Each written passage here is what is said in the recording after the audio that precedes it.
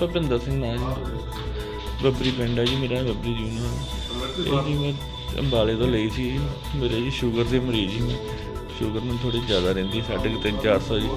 ਉਹਦੇ ਖਾਣ ਕਰਕੇ ਮੈਂ ਥੋੜੀ ਜਿਹੀ ਜ਼ਿਆਦਾ ਲੈ ਕੇ ਆ ਗਿਆ ਜੀ 300 ਗ੍ਰਾਮ। ਤੇ ਰਸਤੇ 'ਚ ਮੈਨੂੰ ਫੜਿਆ ਗਿਆ ਜੀ।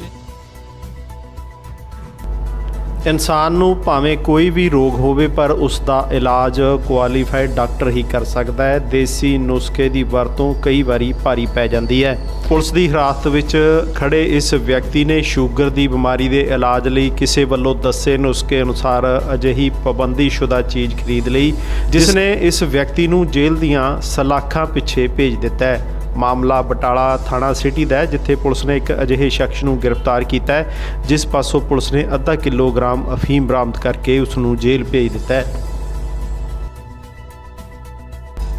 ਬਟਾਲਾ ਸਿਟੀ ਪੁਲਿਸ ਦੀ ਹਿਰਾਸਤ ਵਿੱਚ ਪਿੰਦਰ ਸਿੰਘ ਨੇ ਦੱਸਿਆ ਕਿ ਉਹ ਸ਼ੂਗਰ ਦਾ ਮਰੀਜ਼ ਹੈ ਤੇ ਉਸਨੇ ਇਹ ਦੇਸੀ ਦਵਾਈ ਬਣਾਉਣ ਲਈ ਅੰਬਾਲਾ ਦੇ ਕਿਸੇ ਵਿਅਕਤੀ ਪਾਸੋਂ 500 ਗ੍ਰਾਮ ਅਫੀਮ 40000 ਰੁਪਏ 'ਚ ਖਰੀਦੀ ਸੀ ਤੇ ਉਹ ਆਪਣੀ ਗੱਡੀ ਤੇ ਅਫੀਮ ਲੈ ਕੇ ਵਾਪਸ ਬਟਾਲਾ ਆ ਰਿਹਾ ਸੀ। ਪੁਲਿਸ ਨੇ ਉਸ ਨੂੰ ਗ੍ਰਿਫਤਾਰ ਕਰ ਲਿਆ।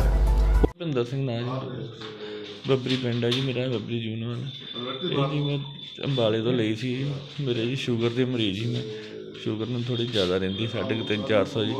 ਉਹਦੇ ਖਾਣ ਕਰਕੇ ਮੈਂ ਥੋੜੀ ਜਿਹੀ ਜ਼ਿਆਦਾ ਲੈ ਕੇ ਆ ਗਿਆ ਜੀ 300 ਗ੍ਰਾਮ। ਤੇ ਰਸਤੇ 'ਚ ਮੈਨੂੰ ਫੜਿਆ ਗਿਆ ਜੀ। ਇਹ ਮੈਂ ਲਈ ਜੀ 40 ਕੁ ਹਜ਼ਾਰ ਦੀ।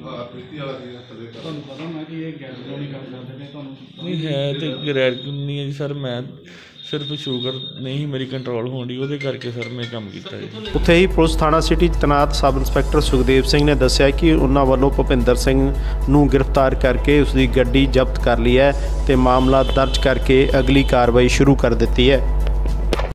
ਮਿਤੀ 5/11/20 ਨੂੰ ਨਾ ਦੌਰਾਨੇ ਚੈਕਿੰਗ ਪੋਲਾ ਹੰਸਲੀ ਬੈਂਕ ਲੋਨੀ ਬਟਾਲਾ ਤੋਂ ਭਪਿੰਦਰ ਸਿੰਘ ਸਾਨੂੰ ਗੁਰਨਾਮ ਸਿੰਘ ਵਾਸੀ ਬੱਬਰੀ ਜੀਵਨਵਾਲ ਜ਼ਿਲ੍ਹਾ ਗੁਰਦਾਸਪੁਰ ਪਾਸੋਂ 500 ਗ੍ਰਾਮ ਆਪਣਾ ਅਫੀਮ ਬਰਾਮਦ ਕੀਤੀ ਹੈ ਜੋ ਆਪਣੀ ਕਾਰ ਆਈ 20 ਤੇ ਅੰਮ੍ਰਿਤਸਰ ਬਾਈਪਾਸ ਵੱਲੋਂ ਬਟਾਲੇ ਨੂੰ ਆ ਰਿਹਾ ਸੀ ਸਾਰੇ ਜਿਹੜੇ ਵਿਅਕਤੀ ਦਾ ਫੇਮ ਫੜੀ ਹੈ ਅੱਗੇ ਵੀ ਕੰਮ ਕਰਦਾ ਕਿ ਜਾਂ?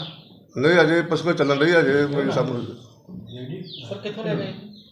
ਇਹ ਦੱਸਿਆ ਵੀ ਮੈਂ ਬਾਲੇ ਤੋਂ ਲੈ ਗਿਆ ਕਿ ਨਾਮ ਨੂੰ ਬੰਦੇ ਕੋ ਉਹਦਾ ਆਪਣਾ ਤਸਦੀਕ ਕਰਦੇ ਅਜੇ ਪਤਾ ਪੁੱਛ ਵਿੱਚ ਚੱਲ ਜਾਰੀ ਨਾ ਜੀ ਇਹਦੀ ਮਾਰਕੀਟ ਵੈਲਿਊ ਕਿੰਨੀ ਹੈ ਮਾਰਕੀਟ ਵੈਲਿਊ ਇਹਦੀ ਪੰਜਾਹ ਕੁ ਹਜ਼ਾਰ ਹੋ ਗਈ ਪੰਜਾਹ ਪੰਜਾਹ ਕੁ ਹਜ਼ਾਰ ਦਾ ਕਿਲੋ ਦੀ ਪੰਜਾਹ ਕੁ ਹਜ਼ਾਰ ਹੁੰਦੀ ਸਰ ਜਿਹੜੇ ਬੰਦੇ ਕੋਲ ਲਿਆਇਆ ਉਹ ਉਹਦੇ ਉਹਦੇ ਤੱਕ ਕੋਈ ਕਾਰ ਕਾਰਵਾਈ ਕੀਤੀ ਜਾਏਗੀ ਹਾਂਜੀ ਹਾਂਜੀ ਜੇ ਆਪਾਂ ਨੂੰ ਕਾਬੂ ਆ ਗਿਆ ਤੇ ਫਿਰ ਉਹਦੇ ਖਿਲਾਫ ਕਾਨੂੰਨੀ ਕਾਰਵਾਈ ਕੀਤੀ ਜਾਏਗੀ।